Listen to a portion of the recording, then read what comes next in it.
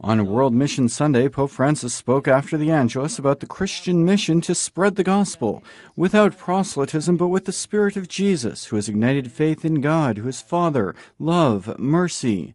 The Pope remembered missionaries who have given their lives, such as the Italian Afra Martinelli, who was killed recently in Nigeria, and Stefano Sandor, beatified yesterday in Budapest, who was killed by the communist regime. He also expressed his closeness to the people of the Philippines, the victims of a strong earthquake. Before the Angelus, he spoke about Sunday's Gospel. God, he noted, invites us to pray insistently because our strength is prayer.